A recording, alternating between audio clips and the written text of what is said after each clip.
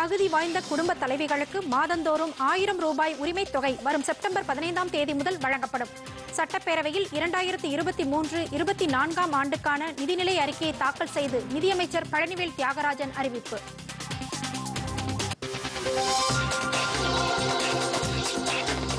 மதுரையில் metro rail திட்டம் செயல்படுத்த நிதி ஒதுக்கீடு.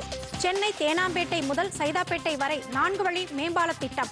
வடசென்னை வளர்ச்சி திட்ட பணிகளுக்கு ஆயிரம் கோடி ரூபாய் நிதி ஒதுக்கீடு தமிழக பட்ஜெட்டில் அறிவிப்பு.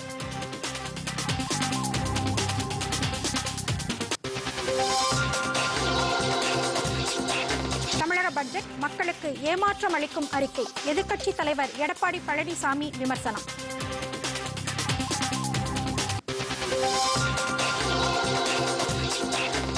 பட்ஜெட் கூட்டத்தொடர் அடுத்த மாதம் இருபத்தி ஒன்றாம் தேதி வரை நடைபெறும். சட்டப்பேரவைத் தலைவர் அப்பாவு அறிவிப்பு.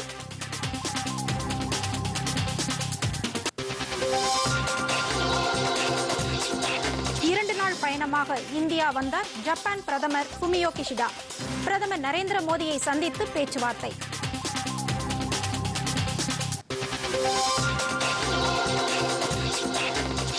நரேந்திர மோடி ஆட்சியில் ஸ்டார்ட் அப் நிறுவனங்களின் எண்ணிக்கை ஒரு லட்சத்தை தாண்டியுள்ளது. கோவை ஜி இருபது இளம் தூதுவர்கள் உச்சி மாநாட்டில் மத்திய இணையமைச்சர் எல் முருகன் பேச்சு.